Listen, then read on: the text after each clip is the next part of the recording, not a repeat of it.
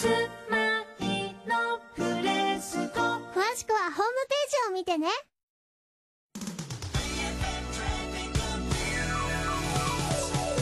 新製品が安いケーズ電機がお送りします。日本道路交通情報センターの渡辺さんお願いします。はい。首都高速道路は移動しながらの緊急工事が行われているため川口線上りは香川を先頭に安行まで渋滞しています7号線上りは両国ジャンクションを先頭に錦糸町までの渋滞です。千葉県内の東関東自動車道や京葉道路などに渋滞はありません。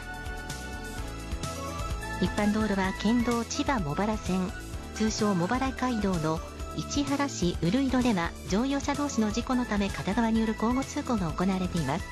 上りは3キロ下り線は1キロの渋滞です。ところで千葉県と茨城県を結ぶ県央道の一部がこの後3時に開通します。